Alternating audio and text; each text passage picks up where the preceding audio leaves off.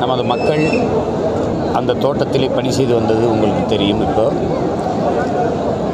இப்போ அவர்களை வனத்துறைக்கு கொடுக்கறதுனால அவர்களுடைய வாழ்வாதாரம் பாதிக்கப்படுது அவர்கள் வேலைவாய்ப்பை இழக்கிறார்கள். அது இழப்பை காரணம் காட்டுது. அதுக்கு நிர்வாகம்தான் பொறுப்பே ஒழிய தொழிலாளர்கள் நம்முடைய மக்கள் பொறுப்பேற்க முடியாது. ரெண்டாயிரத்தி நூறு பேரை பணி நீக்கம் செஞ்சுட்டு இவங்களே பணி நீக்கிக்கிட்டு ஆள் பற்றாக்குறை என்று காட்டுவதெல்லாம் வந்து ஏற்க முடியாது. அதனால் இதை கடந்த அரசு வனத்துறைக்கு ஒப்படைத்திருந்தாலும் இந்த அரசு கவனத்தில் எடுத்து இப்போ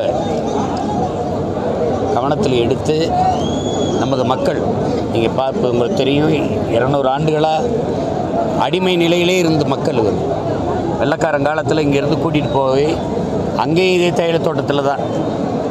கண்டின் நுவரெலியெல்லாம் இதே தேயிலை தோட்டத்தில் அந்த தேயிலை அதிலிருந்து வருகிற தேநீர் சிவப்பாக இருக்க காரணமே நம்ம மக்களின் ரத்தம் தான் நீங்கள் உங்களுக்கு தெரியும். எரியும் பனிமலை இப்போ பனி பனி பனிக்காடுன்னு அந்த புதினத்தை படித்தாலே உங்களுக்கு தெரியும். அவ்வளவு துயரம். அங்கேருந்து சாஸ்திரி சினிமா ஒப்பந்தத்தில் இங்கே கொண்டாந்து பதினஞ்சு லட்சம் பேரை கொண்டாந்து இறக்கி விட்டு போயிட்டாங்க. அங்கே எங்கே இறக்குனாங்க என்ன தொழில் என்ன ஏது எந்த பாதுகாப்பும் இல்லை. அது இருக்கிற ரெண்டு ரெண்டு லட்சம் பேருக்கு மேலான மக்கள் இதை சார்ந்து தான் வாழ்ந்துட்டு இருந்தாங்க. இப்போ அதை வனத்துறைக்கு கொடுத்துட்டா அங்கேருந்து நம்ம மக்கள் வெளியேற வேண்டிய அவசியம் வரும். வேறு எங்கே போய் பிழை எங்கே போய் பிழைக்க முடியும்? எங்கே போய் வாழ முடியும்?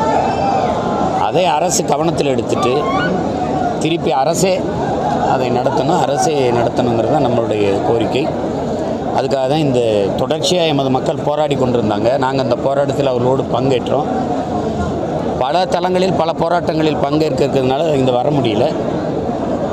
ஆனால் இன்றைக்கி வந்து இந்த மக்களின் நியாயமான அந்த கோரிக்கை உரிமை போராட்டம் அதற்கு வலுச்சேர்க்கும் வாய்ப்பாக நாங்கள் இந்த போராட்டத்தை முன்னெடுக்கிறோம். அதில் பங்கேற்க நான் வந்திருக்கேன். ஆனால் இங்கே சட்டமன்ற உறுப்பினர் தேர்ந்தெடுக்கக்கூடிய முக்கிய சக்தியாக தாயகம் திரும்பி தமிழர்கள் இருக்காங்க.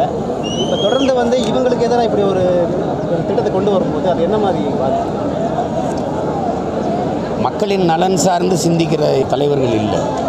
அது அந்த நேரத்தில் வாக்கு தானே அந்த நேரத்தில் காசை கொடுத்து வாங்கிக்கலாம். அந்த நேரத்தில் ஒரு சலுகை அறிவித்து நாங்கள் வந்தால் இந்த வேலையை உங்களுக்கு அரசை நடத்தும்னு ஒரு அறிவிப்பை செஞ்சு வாக்கை வாங்கிக்கலாம் அப்படிங்கிற ஒரு இதில் செய்கிறது தான் கடந்த அரசு தானே இதை பண்ணிட்டுது இதுக்கு முன்னாடி அது வனத்துறைக்கிட்டே இருந்துச்சு?